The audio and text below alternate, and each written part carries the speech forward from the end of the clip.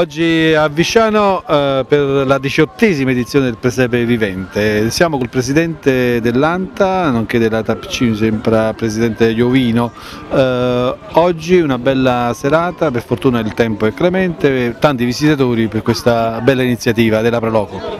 Sempre una bella iniziativa per Visciano, insomma fa onore al paese e siamo giunti alla diciottesima edizione e pare che insomma, i ragazzi qua si impegnano moltissimo, intanto noi siamo qua in nome e per conto... Voi state raccogliendo dei fondi per che cosa? Spieghiamo un po' per la riapertura della mensa dei poveri eh, in via Gianturco di Napoli e hanno messo pure a disposizione una moto che si trova alle nostre spalle e che verrà sorteggiata eh, in data 6 gennaio 2017 presso l'Istituto Anselmi di Marigliano in presenza di personale dell'Intendenza di Finanza. Ma stasera vi vediamo senza casacca, come mai? Di solito sempre una bella casacca gialla fosforescente.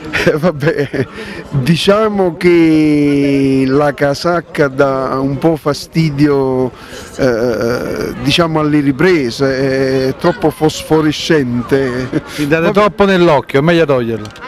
Sì, va bene anche così, tanti risultati non cambiano. Eh, vabbè, vabbè, però era un segno di riconoscimento anche per qualcuno che voleva chiedere qualcosa, vi poteva identificare comunque.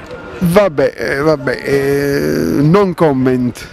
Lasciamo chiudiamo, stare questo. Chiudiamo così, eh, sì, giusto. Allora, chi vuole acquistare il biglietto per il sorteggio per la riapertura della mensa dei poveri di Gianturco lo può fare fino al giorno della Befana, quando poi verrà fatto il sorteggio di questa moto che è alle nostre spalle, giusto? Sì, noi siamo qua eh, sperando che eh, il tempo permettendo, diciamo, eh, anche col gelo le ragazze, i ragazzi qua eh, sono sempre al lavoro per, per um, portare al termine per un fine, per un fine umanitario naturalmente. Ok, ringraziamo il presidente della ANTA della TPC eh, Iovino Giacchino.